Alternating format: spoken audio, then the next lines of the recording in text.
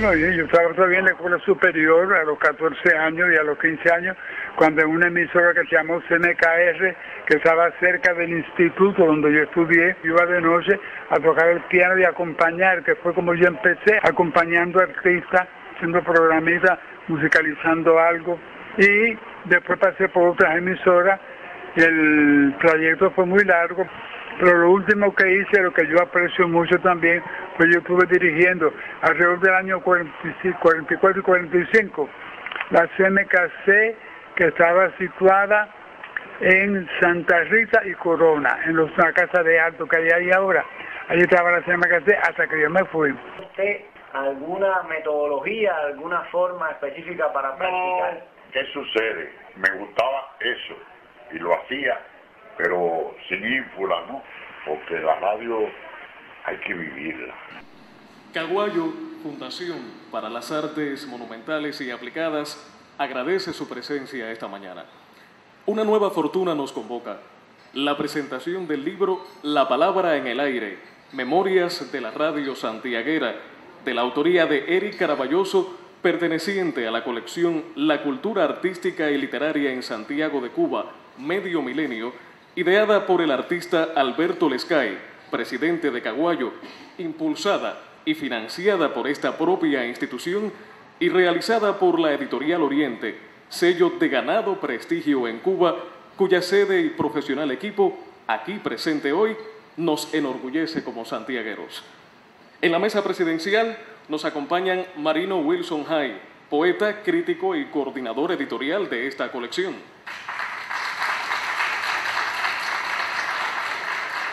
Eric Caraballoso, periodista e investigador, autor.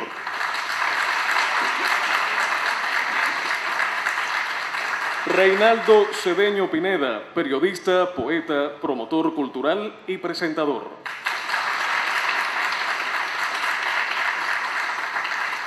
Marta Mosquera, Premio Nacional de Diseño a cargo del arte y cubierta.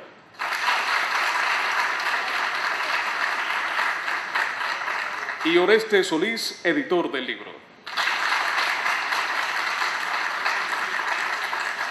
La radio es el medio de lo efímero.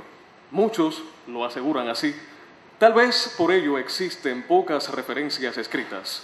Su propia condición, dinámica y recursos dificultan archivar su producción al aire. Así que tal vez como ninguna de las otras aristas de la cultura, el acercamiento a este medio está definido por la memoria de sus protagonistas. Ofrecemos ahora la palabra a Marino Wilson High. Primero, nuestro recuerdo, y esto ya León Estrado lo hizo una vez, para una persona que inició este proyecto, una persona que por ser diferente en vida recibió el ataque y la indiferencia de los otros indiferentes en relación a él. Antonio de Esquirón Oliva.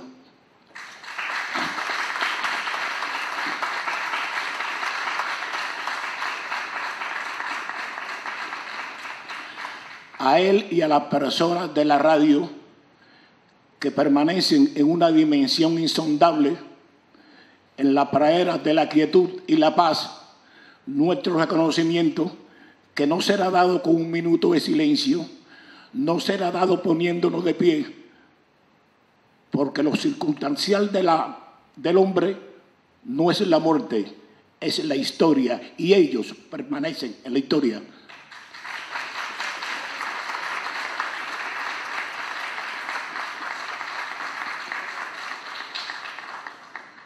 Un poeta inglés, norteamericano inglés.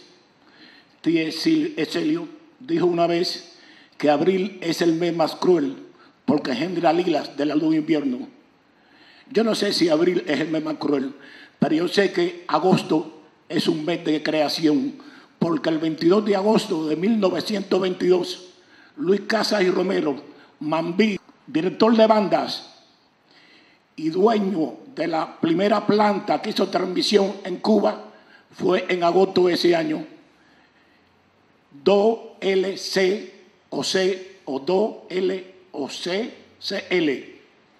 También el 22 de agosto de 1961, o sea, 31 años después, 39 años después, fue creada la Unión de Escritores y Artistas de Cuba. Parece que agosto es un mes creativo entre nosotros. Segundo, uno no siempre tiene la oportunidad establecer un diálogo con personas tan distinguidas como las que están aquí. Por lo tanto, quiero referirme a un escritor y pedagogo canadiense, Marshall McLuhan, que dijo una vez, el medio es el mensaje. Cada uno de vosotros ha sido el mensaje porque han sido el medio. Por lo tanto, no es recomendable insistir, y no me estoy apartando del tema, en expresiones como estaremos conversando, estaremos hablando, cuando es tan fácil decir hablaremos mañana o estaremos tal cosa. Estaremos pensando con ese uso tan desmedido e ineficaz del gerundio que no hace caer en gerundiadas, que como ustedes saben significa tontería. Otra cosa, no nos complace insistir en clasificar, porque el lenguaje siempre tiende a la síntesis, aunque sabemos que hay momentos específicos que esto se puede hacer en que los muchachitos y las muchachitas, los viejecitos y las viejecitas, los niños y las niñitas, lo dijo José Julián Martí Pérez, dígase hombre, y se han dicho los derechos. No se dijo dígase el hombre, diga la mujer. No se dice el ser, se dice el ser humano, no se dice humanos y humanas.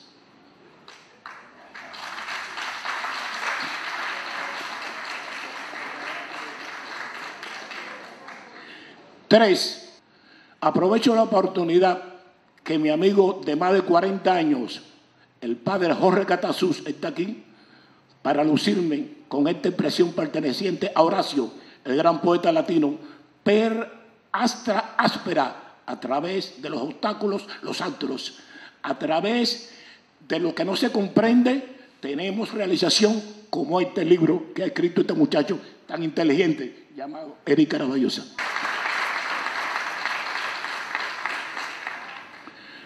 Os aseguro que puedo seguir hablando.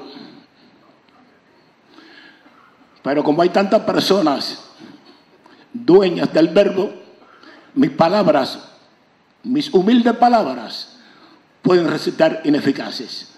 Gracias. Bueno, buenos días. Eh, muchas gracias. Hoy me siento realmente una persona feliz, realmente. Cuenta García Márquez que su abuela no se atrevía a desvestirse delante de la radio, no fuera a ser que alguien la viera. Recuérdese el enorme tamaño de los radioreceptores de aquellos tiempos fundacionales. Como sabemos, en un largo camino, la radio fue miniaturizándose y expandiéndose de la localidad al mundo. A la llegada de la televisión, Muchos empezaron a verla como hermana menor y hasta como la hermanastra. En consecuencia, le decretaron la muerte. Otro tanto ocurrió en fecha más reciente con la llegada de la Internet. Pero la radio sigue ahí, fiel, ubicua, acompañando a la gente, capaz de llegar a donde nadie ni nada llega la voz, el sonido, los efectos, el silencio, tienen un encanto imbatible. A estas alturas, ¿quién puede decir cuántas horas han transmitido las emisoras de radio santiagueras? Desde las más pequeñas y experimentales de los años 20 o 30 hasta las que han acompañado a los orientales y a los santiagueros por espacio de varias décadas. La radio, sin embargo, ha padecido una escandalosa orfandad de memoria. Quien se enfrenta a su análisis, sistematización y estudio se encuentra más con recuerdos que con muestras palpables, con nombres y anécdotas más que con guiones y grabaciones con fechas colgadas en el aire, Ese es un handicap muchas veces insalvable. Irremediablemente, el investigador ha de acudir al testimonio con todas sus virtudes, pero también con todos sus riesgos. Ha de bordar los vacíos, buscar tendencias, arriesgarse a conclusiones al paso y extraer de toda esa maraña de vocaciones los pasajes más vívidos, las personalidades imprescindibles, los sucesos más notables. Seleccionar no es amalgamar, es filtrar. Eso no es poco. Todo ello a cuenta y riesgo de los argumentos que ha podido escarbar y del inexcusable criterio de autor que todo libro presupone. Así está escrito la palabra en el aire, Memorias de la Radio Santiaguera, de mi colega Eric Caraballoso Díaz. Soy el culpable de haberle pasado el batón. Permítaseme acreditármelo con orgullo de colega y de hermano. Cuando la Fundación Caguayo me propuso escribir acerca del cine, la radio y la televisión, enseguida percibí que el trabajo necesitaba más de un ojo y le llamé. Conocí su calibre desde sus tiempos de estudiante y no me arrepiento un solo instante de esa sabia decisión. El trabajo que se inició en conjunto parió al final dos libros difíciles, A capa y espada, la aventura de la pantalla y este que hoy presentamos. Tal vez la cercanía no nos permita aquilatar en toda su dimensión este proyecto la cultura artística y literaria en Santiago de Cuba, medio milenio, de la cual varios volúmenes, incluido este, forman parte.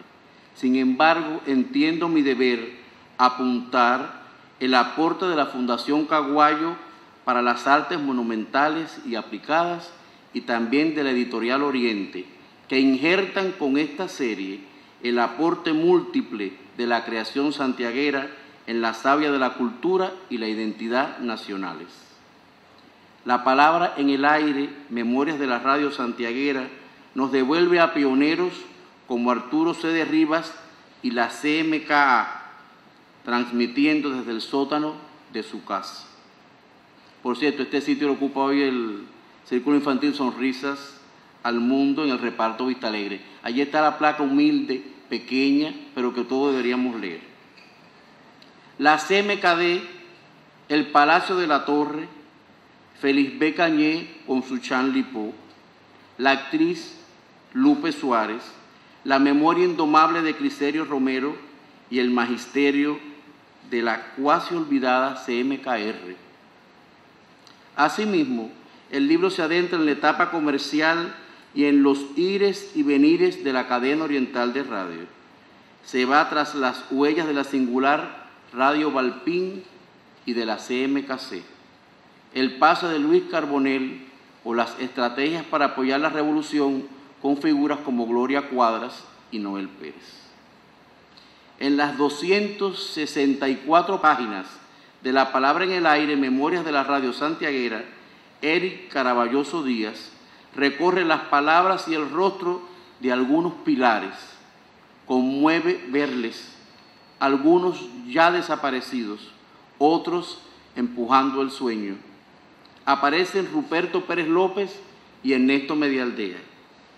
Nilda G. Alemán, la formadora de tantos apasionados radialistas, el rostro núbil de doña Iliana Navarro. Y el multifacético Ado Sanz Milá, el maestro José Julián Padilla y Rolando González. Como una vez dijera la periodista Nereida Barceló, nunca ha sido igual sin él.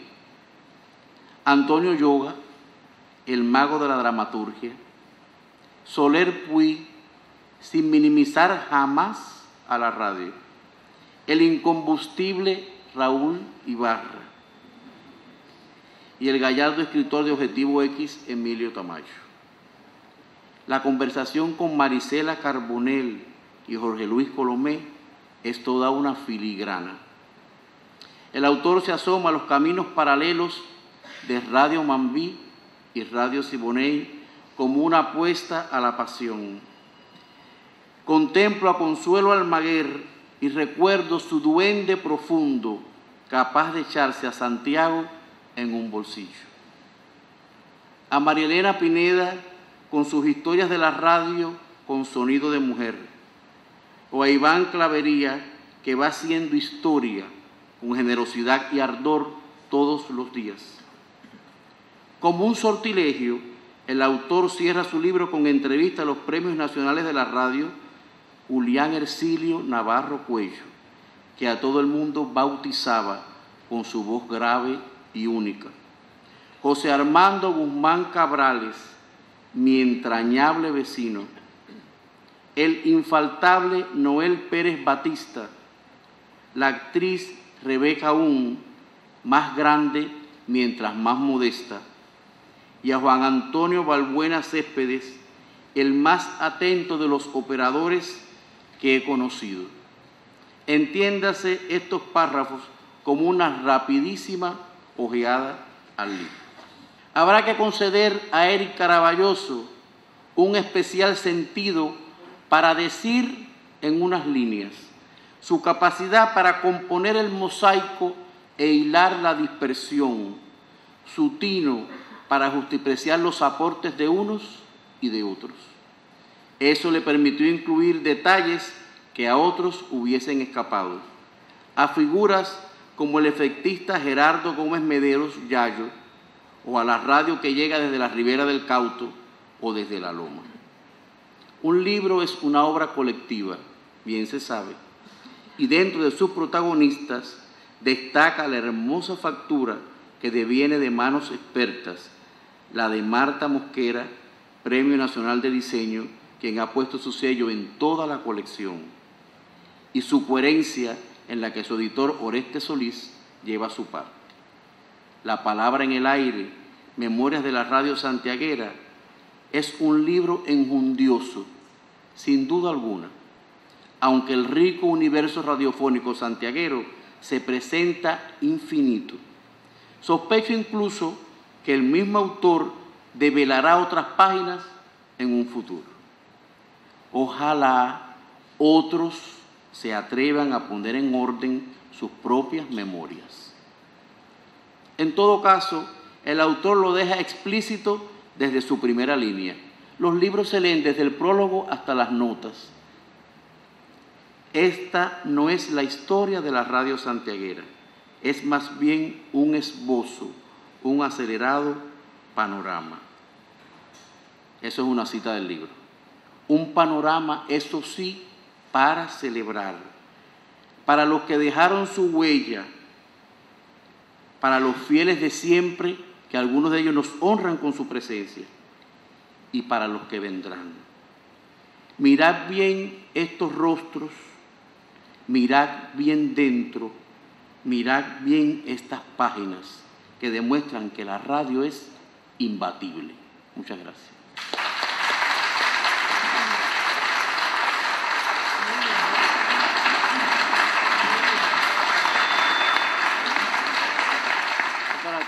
Para los editores siempre es complicado hablar en público, ¿no? Nosotros hacemos un trabajo callado. Pero en este caso eh, es un placer para los amigos cercanos de, Eric, el libro es un trofeo. Es decir, para algunos que están por ahí sabemos lo que representa este libro. Como editor, es un libro que se lee muy bien, que se lee con, soltura. Él logró sortear eh, los peligros de, del tema, es decir, lo que se ha dicho, que es eh, una historia que no está documentada y que se nutre sobre todo de testimonios. Eso entraña la dificultad de, trabajar con testimonios, organizar todo, y, así uno va leyendo el libro como si fuera una novela. Ahí van los dotes escritores de Eric que están bastante entrenados, aunque para armar el conjunto supongo que también le salió su, su vena poética, digo yo, para lograr agarrar lo inasible, eso que, que no está dicho y que uno tiene que, que suponer y que, que explicitar. Bueno, ha sido un placer y un orgullo haber trabajado en el libro y un orgullo para, para mí que Eri haya sacado esta pieza realmente. Gracias.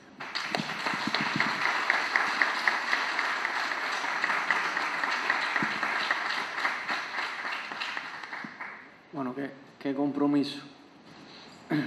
En realidad hoy es un día de emociones encontradas. Es un día de, de mucho alivio, porque eh, los que han estado de alguna manera cerca del libro saben cuánto tiempo y cuánto trabajo pues ha pasado y ha sido necesario para que el libro florezca y fructifique. Un libro que estaba prácticamente terminado desde el año 2010 y que bueno, por azares de la vida, eh, sale ahora gracias en primer lugar en primerísimo lugar a la Fundación Caguayo, a, algo que se ha repetido y supongo se seguirá repitiendo en la medida en que se sigan presentando estos libros, porque realmente como testimonio de 500 años de cultura tienen un valor eh, extraordinario. Lo decía Cedeño, y yo desde aquí quiero, en primer lugar, ya repito, agradecer a la Fundación Caguayo, a Sky, a Saili, a Teresa, a Marino, que ha sido el coordinador editorial y que desde un primer momento pues, me apoyó y me inspiró, me impulsó. En primer lugar también, no en segundo, quiero agradecer a Cedeño, que no es un compañero de trabajo, es un amigo de años, a quien tengo el, el honor de, de ver a mi lado cotidianamente en la emisora. Él contó la historia, así que me ahorró contarla. La manera en que poco a poco me fue engatusando, en que poco a poco me fue soltando eh, compromisos y lo que empezó, lo que iba a ser la colaboración para un capítulo del libro, terminó siendo un libro aparte. Pero creo que hoy se lo agradezco infinitamente porque tuvo la visión que yo en ese momento no podía tener de que podía hacer el libro. Si en un principio él me hubiera dicho eso, ahora no estuviéramos aquí reunidos o estuviéramos reunidos con otra persona sentada aquí enfrente, porque en ese momento yo no me hubiera atrevido eh, a hacer algo como esto. Pero bueno, al final, un tanto como que heredé la valentía que él mismo ya tenía al asumir un proyecto tan grande, que incluía inicialmente, como él dijo, la radio, la televisión y el cine, y que después fue resultado en dos libros totalmente independientes, aunque con vasos comunicantes sin duda, porque muchas personas que trabajaron en la televisión también trabajaron en la radio y viceversa. Yo creo que esos son libros que hay que leerlos también con vasos comunicantes. Y ya Cedeño mencionaba algunos nombres. La lista de agradecimientos realmente es enorme. Tengo que mencionar la editorial Oriente, que tuvo a cargo todo el proceso editorial y que lo acogió con, también con entusiasmo, por supuesto, a, a Oreste Solís, que no es mi editor, es mi amigo también. Y cuando supe que era Orestes el, el que iba a hacer la edición finalmente, pues me alegró mucho porque es una persona que conozco desde hace muchos años, con quien compartí años muy difíciles en la universidad. Y bueno, si Martí dice que subir lomas, hermana hombres también, pues vivir en beca, hermana hombres. Y, y eso, pues realmente es algo que me enorgullece, que Orestes haya sido el editor. Y por supuesto, tengo que agradecer a la radio santiaguera, a todas las personas, y decir nombres sería una injusticia. Algunos nombres, los imprescindibles, están en el prólogo, eh, desde las directoras de las emisoras, los directivos de la radio provincial, hasta todas las personas que contacté, e incluso a los que no contacté y vinieron a mí a verme, e incluso a los que no pudieron en un momento determinado brindarme su testimonio, pero luego eh, me brindaron su abrazo o su apoyo o sus palabras de aliento.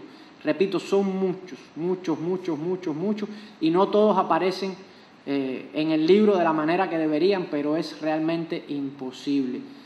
Eh, esto, lo digo en el prólogo, lo repitió Cedeño, no es la historia de la radio, no puede ser la historia de la radio, es imposible hacer la historia de la radio porque estaríamos hablando de un libro que recoja más de 90 años de transmisiones casi ininterrumpidas de figuras, emisoras y personas que hoy ni siquiera están en este libro porque se borraron de la memoria y es una injusticia que no estén, pero al menos es un acto de justicia para los que están. Queda mucho por hacer y mucho por decir y mucho por incluir. Y el libro solo pretende ser un camino o el primer paso de un camino para que no necesariamente yo, aunque evidentemente por ahí siguen los pasos, pero también todas las personas, de hecho ya ha habido de alguna manera continuidad de este trabajo. Aquí hay algunos rostros que así lo testimonian, rostros jóvenes, por cierto, que han seguido de una manera u otra esta, esta línea para que la historia pueda seguir enriqueciéndose y realmente podamos construir, si no la historia total, al menos un mosaico, un panorama mucho más abarcador y completo que lo que el libro representa.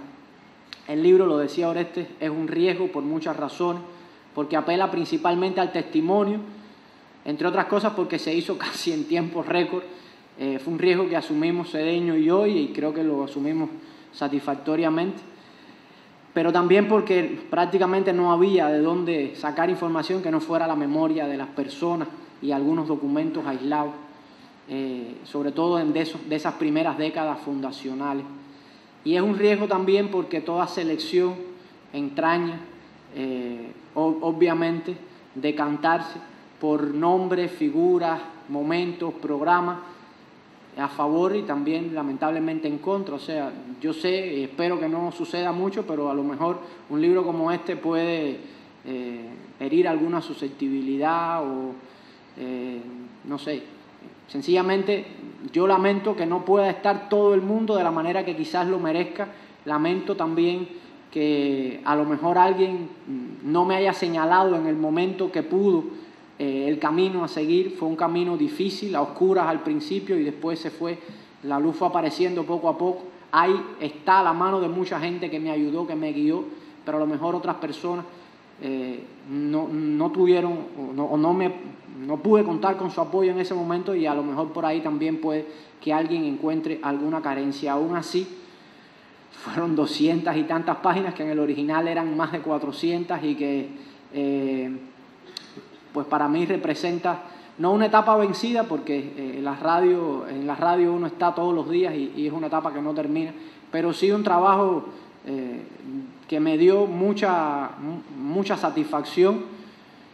Eh, también fue agotador, pero siempre el agotamiento cuando tiene un resultado satisfactorio pues termina siendo motivo de alegría y al final creo que primordialmente es un motivo inmenso de alegría tener ya el libro aquí conmigo y ver la obra terminada.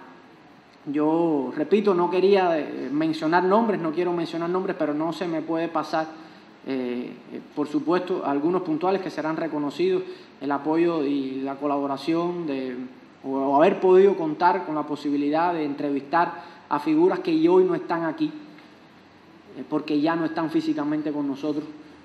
no se dijo, pero escuchamos a cuatro de ellos al inicio a, Guzmán Cabrales, José Armando Guzmán Cabrales, Premio Nacional de la Radio, que me ayudó muchísimo. Julián Ercilio Navarro Cuello, Premio Nacional de la Radio, que me ayudó muchísimo.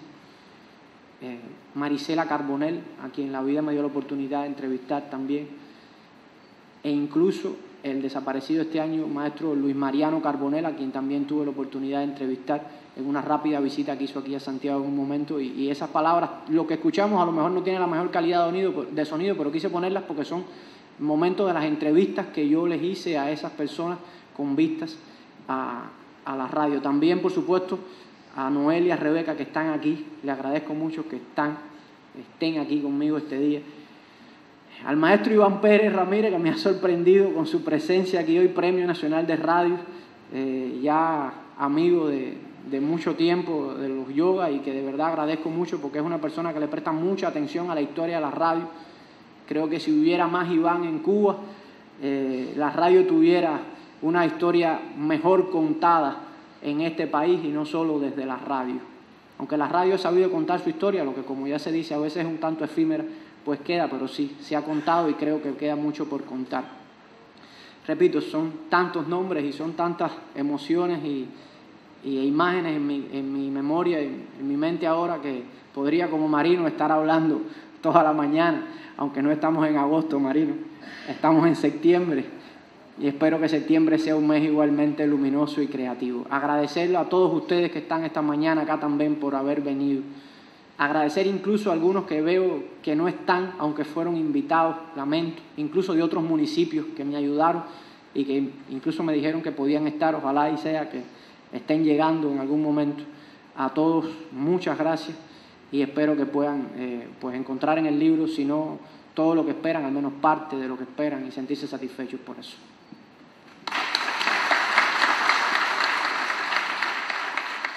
Una sola, una, una, intervención muy breve. Yo no sé de dónde viene la confusión. Yo sé que estamos en septiembre. Yo, yo quería hacer mención al hecho del que el 22 de agosto de 1922 se aprobó la radio en Cuba. Yo no sé de dónde viene la confusión. Todavía no tengo Alzheimer, todavía.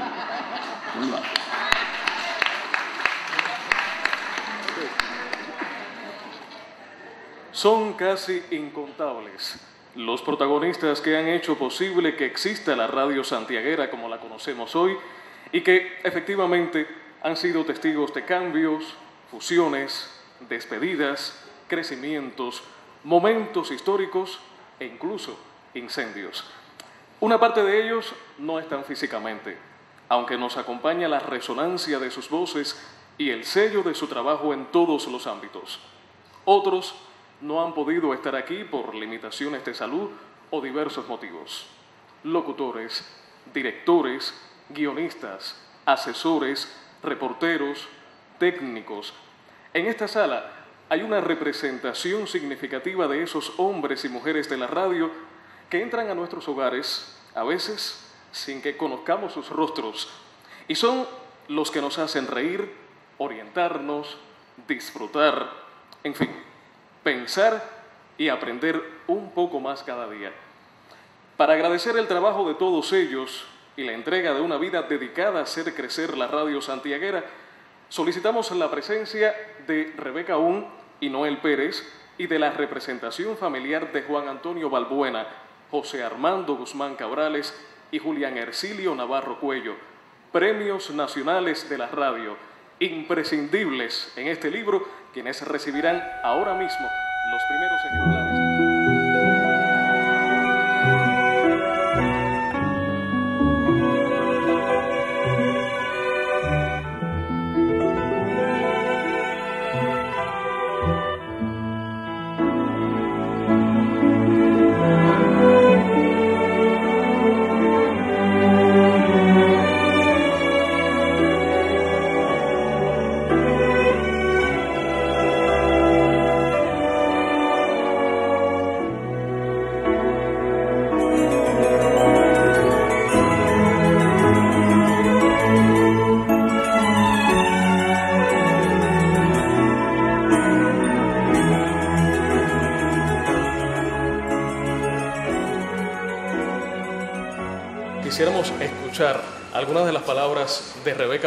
Y Noel Pérez, por favor.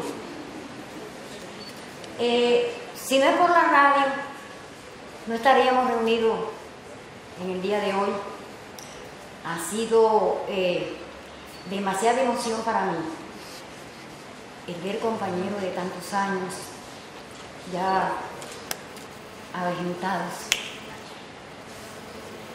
Yo le agradezco a la radio todo lo bello que yo pueda haber eh, sentido en mi vida. Desde los seis años, bailando en todas las emisoras. Le faltan algunas todavía por nombrar a, a Eric. Radio Santiago, Circuito Oriental, Radio Balbín, eh, CMKR, CMKC. En todas, siendo niña, en algunas, porque no todas surgieron en el mismo año, pero en la primera emisora que trabajé, o bailé, mejor dicho, siendo niña, fue en CMKC y tengo, como dicen los científicos, tengo la evidencia, un diploma donde dice Radvideas Jiménez, eh, la fábrica de galletas Colomé, era la, la patrocinadora. Y ahí, de ahí, mi mamá me siguió llevando a todos los programas de aficionados. O sea que yo empecé bailando y cantando una chinita, eh, china, tan china, y bailando y desguazándose como, como aquel que dice. Acabó hasta en Vista Alegre. Me venían a buscar para los cumpleaños, pero yo guardaba dentro de mí algo que no tenía nada que ver con el baile ni con... Sí, me, me, me gustaba cantar tango, pero lo que llevaba dentro era la, lo dramático. Porque es que yo soy, en realidad yo soy dramática. Lo dramático era lo que me interesaba. Y ahí, cuando triunfa la revolución, mucho antes se había hecho algo de, dramático en diferentes emisoras, eh, con las, los alumnos de la universidad. Y siempre me buscaban a mí que ya yo portaba un carnet que me permitía trabajar como actriz. Pero es en CMKC donde yo entrego mi vida, toda mi vida, a la dramatización, a la locución cuando los hombres fueron movilizados. En el mes de octubre, locutora, yo anunciando discos, o sea, yo me desenvolvía como cantante, me pusieron un programa cantando tango, o sea, yo he hecho de todo en la radio. Sí les digo que he dejado de mis cuatro hijos, tengo cuatro, tres varones y una hembra, he dejado tres sembrados en la CMKC. Dos efectistas que son muy buenos, no porque sea su madre, porque soy la juez principal de ellos tres. Y, y la hembra de Laida Perezón, que aparte de ser una primera actriz, es una buena escritora o guionista, no sé cómo llamarlo. Les digo que cuando me jubilé por asuntos de salud, dolor en los huesos, vamos a hablar claro, no vamos a estar con misterio. Yo pensé, digo, ah, ahora es que voy a disfrutar, porque yo he dedicado mi vida a mi hogar y al trabajo. No sé decirle cuál lleva de los dos mi preferencia, porque hasta mi matrimonio se destruyó por el arte, o el arte o yo, decía el padre de mis hijos. Le dije, el arte, me quedo con la emisora, me quedo con la televisión, porque quitármelo sería arrancarme un brazo, y yo no voy a dejar que me arranquen el brazo. Me costó el divorcio. ¿Qué sucede? Que al yo jubilarme, esperando vivir lo que no viví, porque el padre de ella era muy celoso, yo viví bajo un bloqueo férreo. Yo no conocí nada de la vida, habiendo bailado en cabaret, porque yo fui bailarina de cabaret, tengo, como le dije, evidencias. Yo vivo de evidencias. Como Taladí y lo de los ovnis. El problema es que cuando yo me jubilo, digo, bueno, ahora voy a ir donde me dé la gana. Ya mi, mis hijos están casados, ya yo... Y les digo la verdad, empecé a encerrarme en mi propia casa. Esta salida de hoy lo estoy pensando desde que ella me lo dijo, porque no quiero, no quiero tener contacto, sino en mi mundo, oyendo la radio que no dejo de oírla, y la televisión, después me encanta el noticiero, enterarme de lo que pasa en el mundo, y algunas novelas, aunque vivo criticándolo en voz alta, algunas novelas por televisión, por televisión. Y es que no sé en qué año me jubilé, lo estoy buscando y no aparece. Pero es una tristeza, compañeros de la radio. Es un dolor tan grande que yo siento que le dije a mi hija, al jubilarme sin darme cuenta, me estoy notando que, ¿cuál fue la palabra, hija mía? Que no era útil. Esa fue la palabra que le dije, que no soy útil. Porque aún con la edad que tenga, después de los 50 ya empiezan a decir que somos ancianos. No, bueno, yo paso un poquito de los 68, para que se hagan una, para que se hagan una historia. Pero el dolor, la falta que me hace cuando yo oigo las novelas de la emisora, las oigo todas. Y yo misma digo, pero fulana o fulano, yo misma empiezo. Y enseguida llamo, Jenny, dile a fulana que, que esto lo hizo mal, que porque, porque es que no me puedo callar. Porque me siento todavía parte, sé que soy parte de la emisora CMKC, que ha sido mi casa, mi amor. Mis hijos crecieron en sus, en sus pasillos. Los compañeros de la emisora CMKC han sido para mí mi familia. Al trabajo voluntario, todo el mundo lo cargaba en los camiones porque yo he sido no solamente la, la estrella de, de la radio que hace llorar o reír, cumplía con mi trabajo voluntario. Y el papá de mis hijos decía, te lo llevas a los cuatro, digo, me lo llevo, pero voy al trabajo voluntario. Con esto les digo que es una parte de mi vida, es más, que desde que me jubilé yo no tengo salud. Yo vivo deprimida porque siento que me falta algo. Sé que todo lo que empieza termina y que todo tiene un límite. Además, yo misma pedí la jubilación. Pero qué daño me ha hecho estar fuera, como lo deben sentir los demás, porque la radio o cualquier otro trabajo hay que amarlo. Y eso yo creo que nace con la persona, viene en la sangre, porque yo hasta ahora no he podido resistir el haberme separado de la radio. Gracias.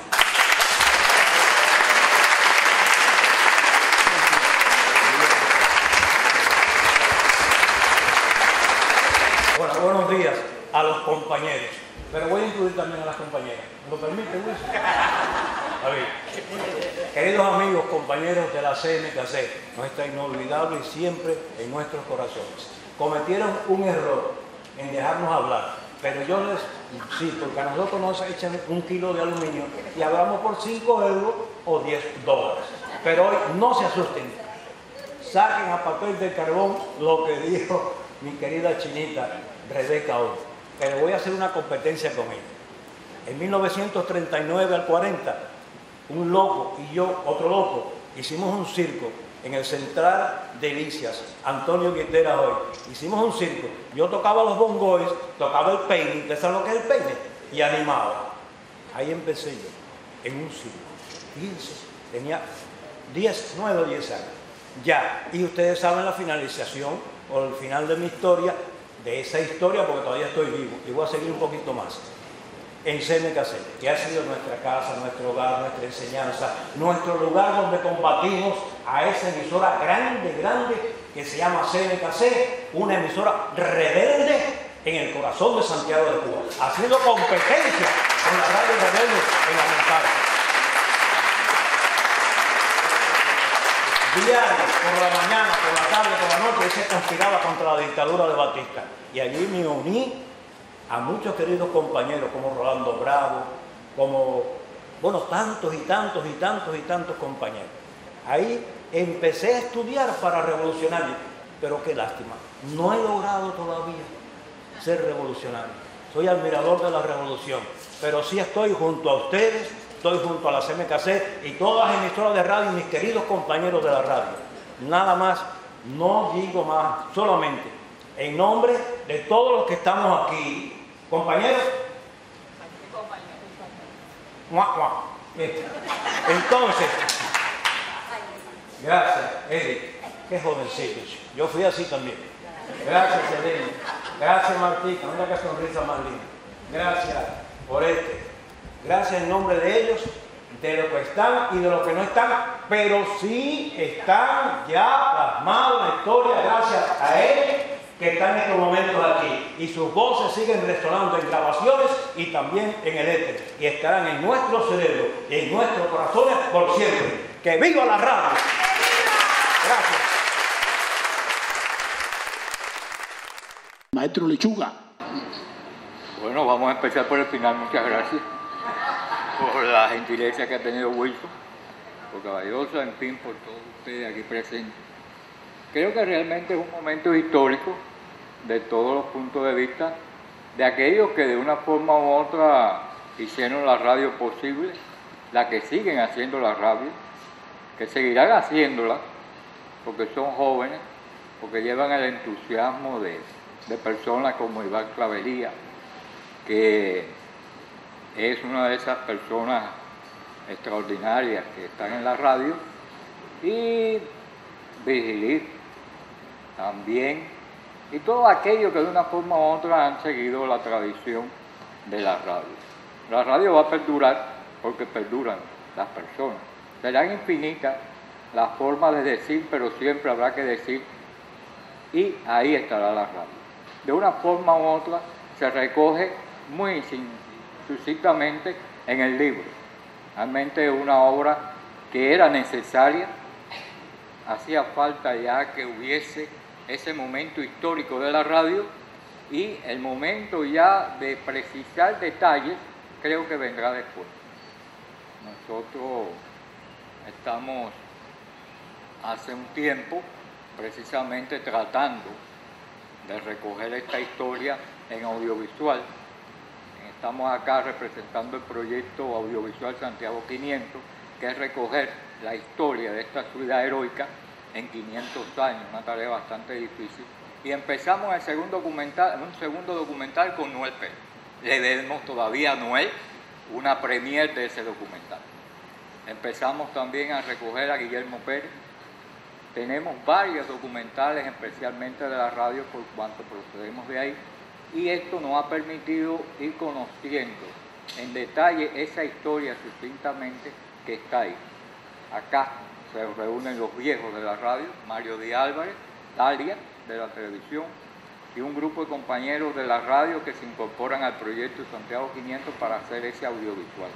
Pensamos que empezaremos ya a comenzar una tarea que debe ir complementando el libro, que debe ir complementando todas estas ideas y de ir haciendo posible que ya en el mundo actual se oiga y se vea esta historia tan rica que hacen ustedes ahora y que es necesario recoger porque no tardarán 500 años para que se vuelva a recoger esta modesta, linda y maravillosa historia. Muchas gracias.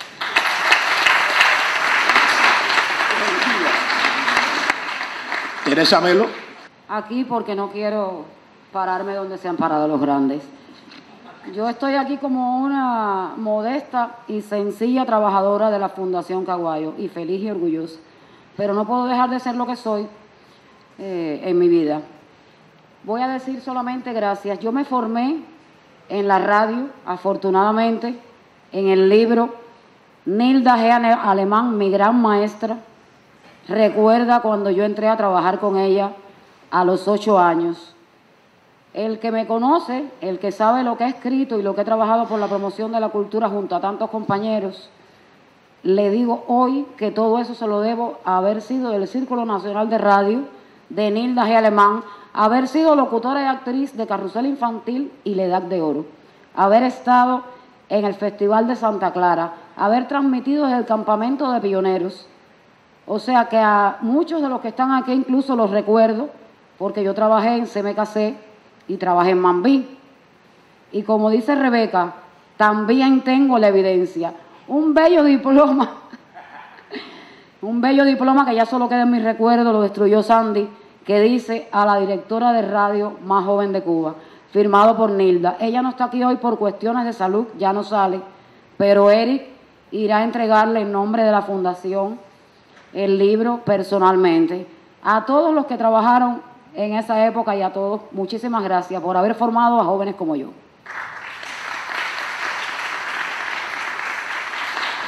Seguramente que Adelaida Pérez tiene algo que decir también. Mi mamá hacía referencia a que escribo para la radio y me gusta sobre todo escribir la historia. Y yo creo que es grandioso lo que han hecho Cedeño, Edith y todos los que tuvieron que ver con la realización de este libro, porque ha sido un trabajo difícil, me lo imagino, porque recoger tantos años de historia de la radio y sobre todo en Santiago de Cuba, pionera de, de muchas cosas. Nosotros decimos que Santiago es una ciudad, es una provincia fundacional, porque aquí se han iniciado muchas cosas. Tenemos un Félix Becañé, tenemos eh, tantas y tantas personalidades de la radio que están y que ya no están. Y qué lindo poder recoger muchas de estas cosas en ese libro. Esto es una herencia que van a recibir los, los que vendrán, porque se van perdiendo, eh, incluso en la memoria, se van perdiendo recuerdos. Qué bueno que lo tengamos, lo tengamos ahí en un libro. Gracias por lo que han hecho, por la historia de Santiago de Cuba, porque es parte de la historia de Santiago de Cuba, la historia de la radio. Gracias y que ustedes sean tan jóvenes y que se hayan preocupado por esto. Un beso.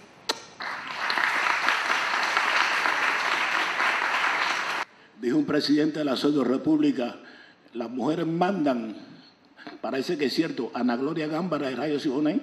Me sorprende muchísimo porque a estos dos niños nosotros los cogimos en nuestra emisora, humilde emisora, la más pequeñita eh, de Santiago de Cuba, y los fuimos encaminando en momentos quizás difíciles para ellos y difíciles para nosotros.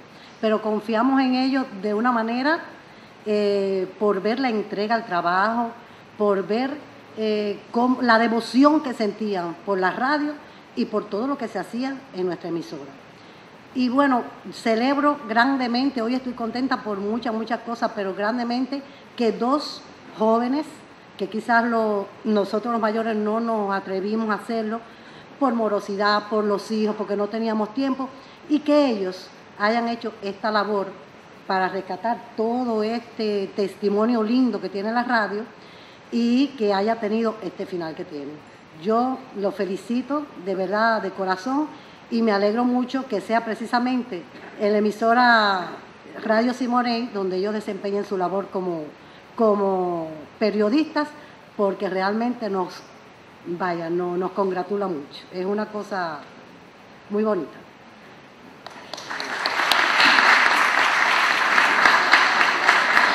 Vamos a ver qué dicen la ciencia, las, perdón, las artes plásticas de la radio Gretel, por ejemplo. Arrate. Me ha dado, bueno, el placer, vamos a, de poder comentar sobre lo que sucede en la mañana de hoy. Es cierto, eh, mi padre tenía el taller de, eh, ¿cómo se llama esto? De pintura en la, prácticamente a una cuadra de la CMKC, pero digo más, tenía una vecina, María de los Ángeles Marrero, quien era locutora, escritora, eh, trabajadora ferviente de la CMKC, hoy en este momento no vive en Santiago de Cuba, pero que bueno, a través de ella, desde yo muy pequeña, eh, escuché muchas cosas sobre la radio y sobre la emisora y sobre las historias de la emisora que no se manejan en público. Y entonces, bueno, sí, he sabido que eh, puedo decir que la radio de Santiago de Cuba tiene una importante presencia en la vida cultural, eh, no solamente en la vida cultural de la ciudad, sino como especialidad de la radio en el país. Eh, por supuesto, nosotros los artistas plásticos hemos tenido siempre el apoyo eh, de, las diferentes emisoras para poder promover y divulgar nuestras, nuestro trabajo. Siempre somos amigos de, de los locutores, de los escritores, de la CMKC y de todas las demás emisoras. Yo especialmente que dirijo una institución de artes plásticas, el Centro Provincial de Artes Plásticas y Diseño, puedo dar fe de eso. Cada vez que tengo que hacer algo, eh, lo primero que, que hago es mandar a las especialistas del centro a la emisora y a las emisoras de la ciudad. ¿Por qué? Porque pienso que es el medio fundamental para promover todo el trabajo cultural de la ciudad y por supuesto el de mi institución, que por cierto está cumpliendo 35 años de fundada este mes el mes de septiembre. No le tocó el mes de agosto. Tampoco entendiste nada. Eh, en fin, yo por supuesto felicito el proyecto, no solamente por este libro, sino por todo lo que está haciendo. Se vienen haciendo libros hace un tiempo y presentando libros donde va donde va a quedar la memoria de la cultura de esta ciudad. Eh, tengo que agradecérselo obviamente a la Fundación Caguayo y a todos los que han trabajado desde el punto de vista de hacer un libro, escritores, editores, diseñadores, asesores, porque esto es muy importante. Eh, las generaciones futuras están ahí, están pujantes, vienen por ahí y por esta, estos libros van a tener una gran visión y una gran guía para lo que pueden hacer en el futuro, para saber lo que se hizo, para saber cuánto se trabajó, cuánto, se, ha habido y eh, cuánto pueden dar para el futuro. Por tanto, no solamente felicito a este equipo, al autor, sino felicito a todos los que vienen por ahí porque sé que se siguen haciendo proyectos. Muchas gracias, Marino, por haberme dado la palabra en esta ocasión. Pero yo quisiera cerrarlo con la directora de Radio, de Radio Mambí, Gertrudis Boizán. Lo primero que voy a decir es que la emoción que tengo, verdaderamente emocionada, porque cuántas personas no han transitado por nuestros medios buscando un antecedente, buscando una parte de la historia de la radio en Santiago de Cuba, y sin embargo no hemos tenido la oportunidad de poder mostrar nada porque mucho se ha hecho, pero poco se había escrito. Por eso eh, considero que es eh, un momento muy interesante, muy importante, muy grandioso para la radio en Santiago de Cuba poder contar con el trabajo tan fabuloso que se ha hecho por parte de los eh, compañeros, por los periodistas en esta mañana de hoy, que se hizo un antecedente, pero que se está haciendo, que espero que se siga también investigando y buscando porque hay muchas cosas que decir y muchas cosas que contar de la radio en todos los medios eh, en Santiago de Cuba. Eh, dar las gracias por el trabajo que han hecho, por lo interesante y espero que esto continúe en las nuevas generaciones, porque lo interesante está también ahí en que son jóvenes precisamente, porque mire que sea abogado porque se escriba y se haga, pero mira la disposición y hoy tenemos un resultado, un fruto, que lo felicito de corazón. De verdad que me siento muy bien.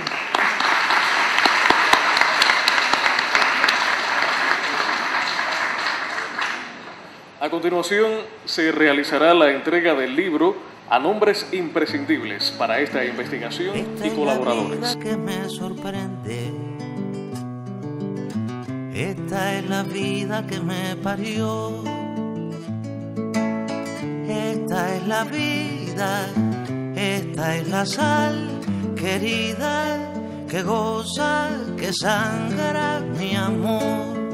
Este es mi polvo y y mi lluvia, rayo, golpe de viento. Esta es mi cruz y el alimento de mi luz. Esta es la vida que me enamora esta es la vida que me da voz, la que regaña cuando se atora, la que no excusa siquiera Dios. Corazón que ha sabido amar llorando, corazón que ha querido cantar verdad, corazón que ha sabido morir andando. Corazón prisionero de libertad, corazón que ha sabido amar llorando, corazón que ha querido cantar verdad. Este libro tiene un gran valor, sobre todo perpetuar la memoria histórica de la radio santiaguera, una radio que llegó para quedarse y que cada santiaguero es dueño de la radio porque en ella ve el medio para instruirse, recrearse y amar a una ciudad. Es el trabajo de todos los que elaboramos en este medio de mantener a nuestra ciudad informada. Y esta memoria histórica creo que será para la eternidad un material de consulta para las nuevas generaciones que trabajen en este medio de comunicación social. Bueno, creo que esta actividad muy linda, muy emocionante, porque pudiéramos decir en una síntesis se recoge una buena parte de la historia de Santiago de Cuba, fundamentalmente en lo que es la radio. Hay unas vivencias que nos sirven a todos a manera de ilustración, también para las nuevas generaciones, Y para los que no, bueno, recordar y hacer el reconocimiento a los que han dejado su vida, han hecho lo mejor de sí por tratar de darle al pueblo de Santiago de Cuba, a nuestro país, lo mejor de la cultura santiaguera y cubana. Felicito a los compañeros de la Fundación Caguayo, a Erika Arbayoso y a todos que de una forma u otra han cooperado para que esta actividad haya tenido la lucidez que para mí tiene. Así que felicidades para todos, éxito y seguir trabajando en el desarrollo de la radio santiaguera. Esto ha sido un evento realmente enternecedor, histórico. Aquí se ha presentado un magnífico libro que ha tenido detrás una carga de trabajo enorme por parte de los que hicieron realidad ese deseo de plasmar en un libro de, alguna manera la historia o momentos de la radio santiaguera. Eh, en saludo quizás a los 500 años de, de nuestra villa, pero que era algo necesario para seguir adelante, porque no podemos seguir adelante sin conocer qué nos antecedió, cuál es la historia de lo que nosotros ahora vivimos. Ha sido un magnífico evento, hemos venido aquí a este Salón de los Vitrales, un lugar maravilloso también, en que nos hemos encontrado varias generaciones de radialistas y eso ha sido muy emocionante. Ver a muchos que se han jubilado hace tiempo y verlos de nuevo con esa emoción eh, quizás infantil de, volverse a encontrar, de, de ver lo que ha sido la radio y lo que seguirá siendo la radio, porque aquí hay una generación que quiere mantener en alto las banderas que han enarbolado ellos, los que hicieron la radio de todos los tiempos. Hay locuras que son poesía, hay locuras de un raro lugar, hay locuras sin nombre, sin fecha, sin cura, que no vale la pena curar.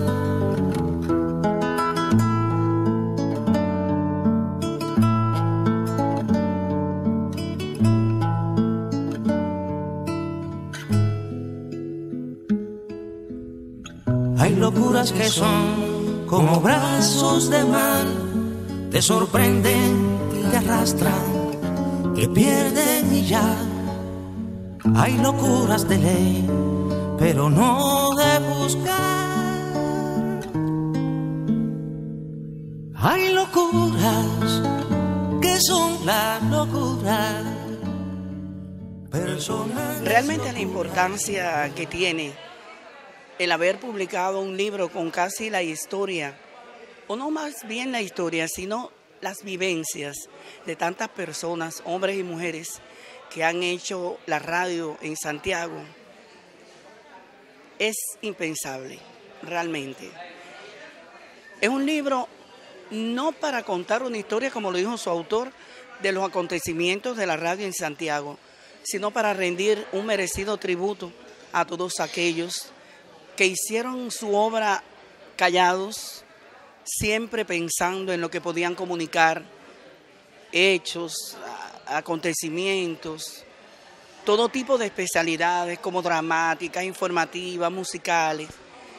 Creo que realmente es impensable, es impensable hasta dónde puede llegar el libro y su homenaje a toda esa gente que vive un un poco de personas, otros no, pero que siempre quedará su legado a través de los, años y todo el tiempo que pase. Creo que la iniciativa de estos libros que está poniendo en manos de Santiago de Cuba la, Fundación Caguayo es, eh, yo creo que una de las cosas que necesitaba la ciudad desde hace mucho tiempo, de ir recogiendo todo lo que tiene que ver con la cultura artística y literaria y que la mayoría de los santiagueros no conoce.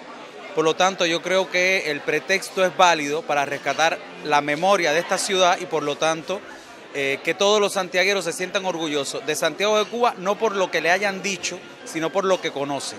Así que eh, nos parece que esta iniciativa va a tener un impacto muy grande en la ciudad de Santiago de Cuba y es uno de los mejores regalos que va a recibir esta provincia, esta ciudad en su 500 aniversario.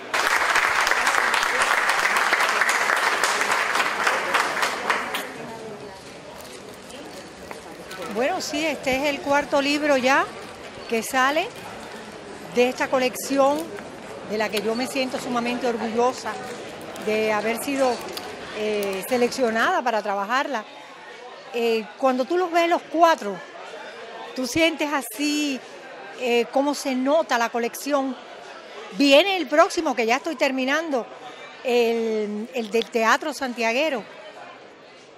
Y vamos a ver, cuando estén todos juntos, cuán orgullosos se sienten los santiagueros de tener su enciclopedia del arte y la cultura en este medio milenio.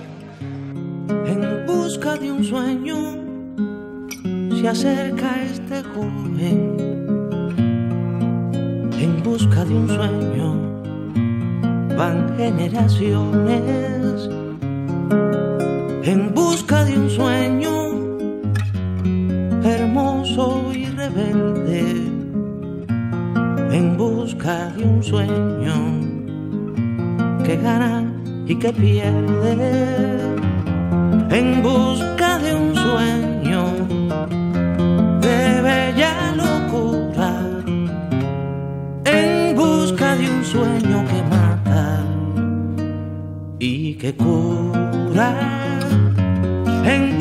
De un sueño desatan ciclones.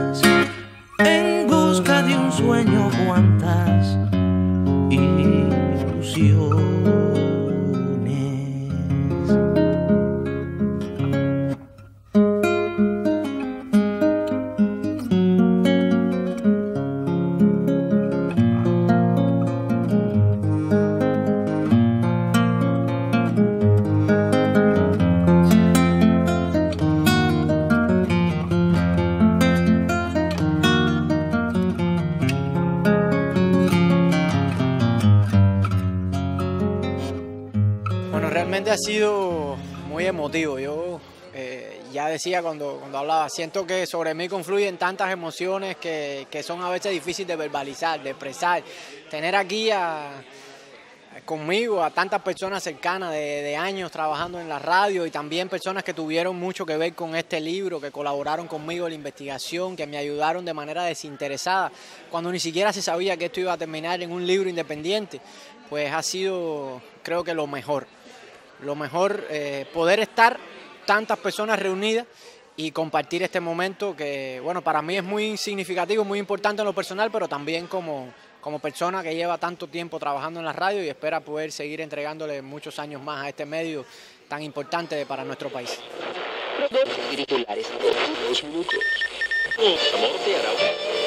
Acción